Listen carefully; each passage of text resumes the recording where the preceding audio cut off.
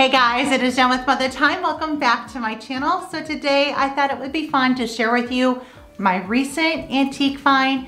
I have found such beautiful treasures this week antiquing that I cannot wait to share them with you. I'm also going to list in the description below some of my favorite shops in the Western New York area. So if you live in the Western New York area or plan on visiting, you can check out some of my favorite shops that I love to go to.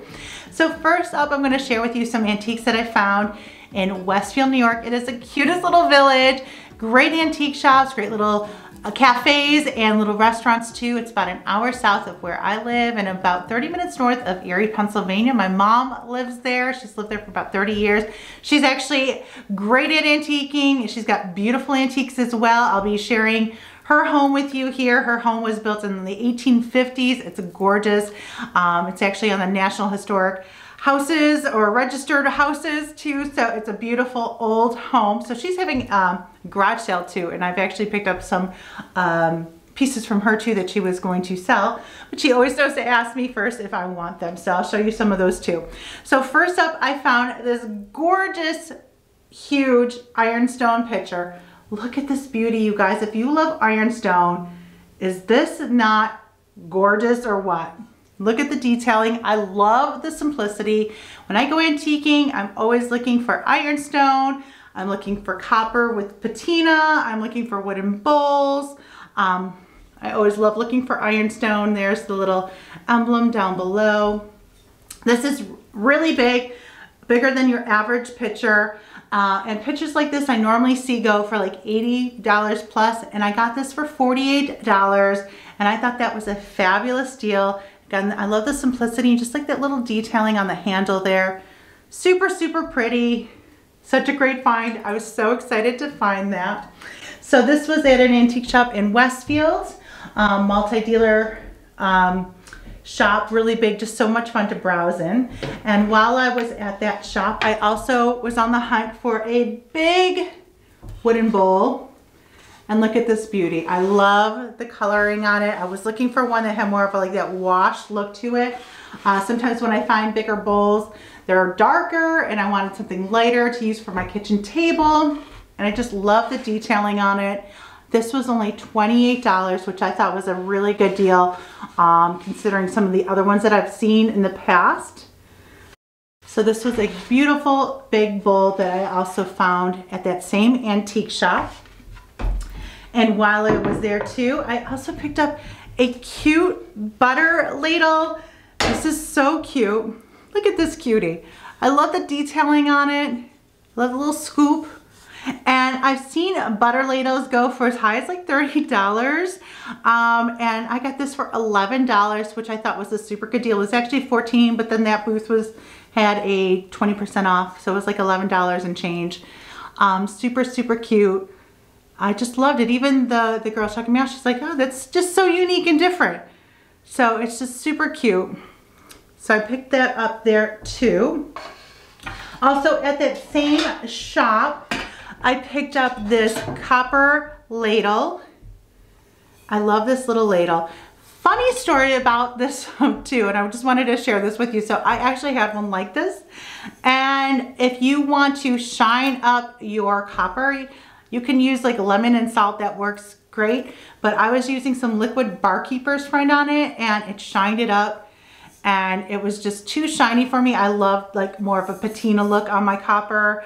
Um, if you see my copper tea kettle in my kitchen, I everything that I have that's copper has a patina look on it. So I don't know what, why I decided to add the barkeepers on it.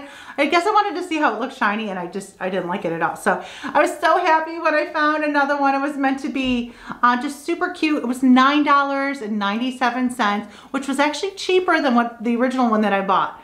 Um, the, the one that I had, the other one that I used barkeepers on, my mom's actually selling at her garage sale. So, um, anyways, so it was just a funny little story about that. But the liquid Bar Keepers Friend, if you're looking to shine up some copper, that's the way to go. My last find at this antique shop is this gorgeous, huge, beautiful copper pan. Look at this beauty with that iron forged handle. I've seen similar ones on eBay. When I found this beauty, I just could not, I was so excited. It's gorgeous. I love the detailing on it. Um, it's probably from like the 1800s. This is more commonly, the style is from like the 1800s. I thought it was in great condition because I had my eye on a few on eBay. Um, so when I found this one at a shop and it's the thrill of the hunt and when you actually can find it and look at it and you know see look it over and all of that it's so much more fun than trying to look on eBay. Although don't get me wrong I shop on eBay all the time for different things that I'm looking for um, but when you can find it in person it's even more fun. So I found this beauty which I'm going to be hanging in my kitchen. I just thought it was gorgeous. Look at that. Look at this and the handle so pretty so that was my last find at that antique shop. Um, a few finds that I picked up at my mom since it's also down in Westfield that she gave me. Uh, she was asking me if I wanted these that she was going to sell and she knows my style. I like more of like that primitive look. So first off is this beautiful uh, pewter tea kettle. Isn't it gorgeous? It's from the 1700s. We did see one similar when we were antiquing that was more like a mint condition and it was going for like $85. $85. So when she had this one, she's had it for a long time and even had it like appraised, I think too. I just, it's beautiful. And just the history behind it, knowing that how old it is and how the age and where it's been and the journey it's been on. I just love the story that it tells when you have pieces like this. Um, you know, there's such history to it. So um, I was so happy to have this and I'm so excited to be putting it here in my dining room, which you'll be seeing here, the update on the dining room shortly. I also picked up from her this little um, scoop spoon too, which I just thought, I love the detailing on it. I love like that weathered look of it. Um, it's got the little hook on the bottom too, similar to my copper one. And so she was um, gonna sell it, but wanted to know if I wanted it first. And this is totally my style, so I grabbed that from her too. Um, I also got from her another wooden bowl. I love my wooden bowls. You can never have too many. So I got this one. This one's a lot smaller than this one. Um, and this one's a little bit darker, but I just thought it was super cute. I'll never, I'll never say no to a bowl. I just loved it too. And then I also got a scoop from her, which I thought was super cute. She's got such great antiques and some of the stuff that she was selling um, is, you know, and the prices were so great too. So I love that too.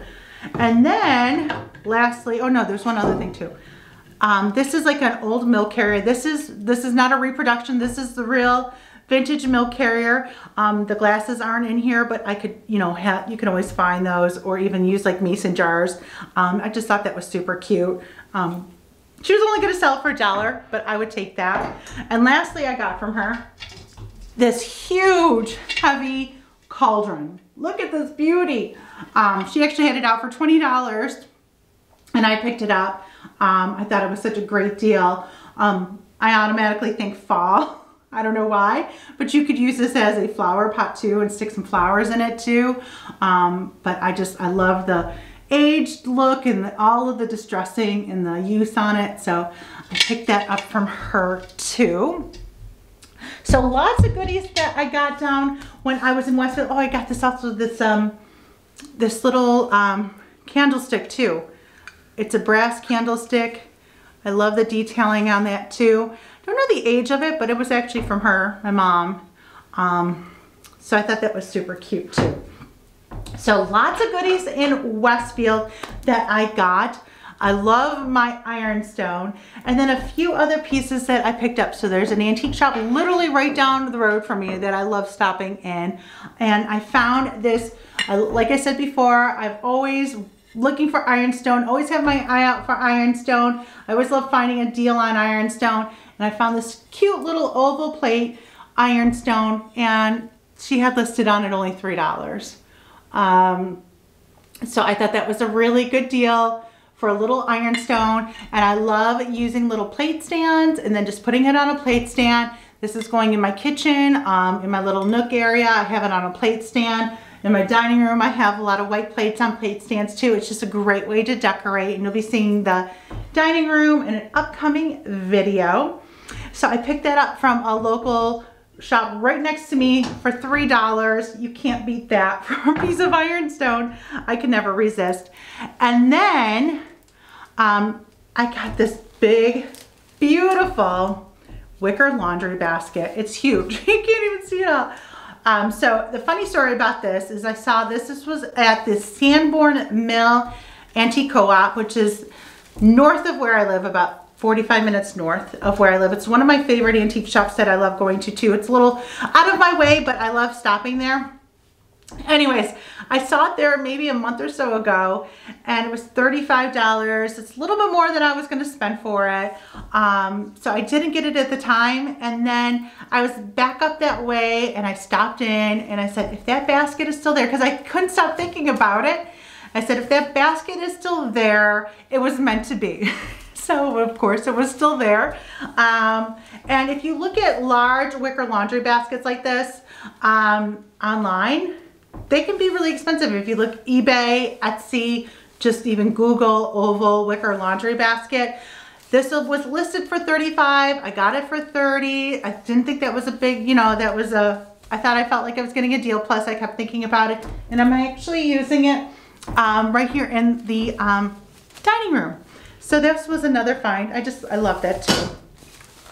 And then lastly, this was, was a thrift store find was another little copper tea kettle. This is probably is not vintage at all, but I can never resist some copper, um, especially when it's got the patina look to it. Uh, and this was only $4.99. I got this at Savers, uh, which is like a Goodwill here. Um, the funny thing is, is it was recently $3.99 um, at Goodwill. So I had I spent more on it. So too bad I didn't see it at Goodwill, right? Um, but I just thought it was super cute and I'm gonna put this um, in my little coffee area. I love tea kettles. I have my big one, like I mentioned before, um, that's very patina and I won't use barkeepers or anything on it. I love just that look. You know, I love the look of the clean, um, shiny copper and some people can just it, it's so pretty in their homes but for some reason I just like more the patina look in my home and this baby was just super super cute so these were my antique finds this week. I thought it was a pretty good haul, some great finds, a great variety, and it was just so much fun. Again, it's the thrill of the hunt. I love going and wandering because you just never know what you're gonna find. Again, I always have like a little list of things that I know that I'm always kind of keeping my eye out on, but sometimes it's also fun just seeing something that you're not expecting to see and finding a new piece and a new little treasure that you can bring into your home and just the story behind it. It's just so fun. So if you love antiquing too, let me know in the description below what you love antiquing for, some of your favorite finds that you found recently. Um, it's just, it's so much fun. So I hope you enjoyed this haul. I hope you enjoyed these pieces. Let me know also too what your favorite piece from this haul is. And if you are new to my channel and you love videos like this, along with home decor, cooking, and DIY, make sure you click the subscribe button below so you never miss a video. And if you're on Instagram too, make sure you're following me over there. I'm sharing over there and sharing in stories and behind the scenes too. I hope you guys enjoyed this video. Give it a big thumbs up if you did. Thank you so much for spending some time with me here today. I will see you guys in the next video. Bye guys.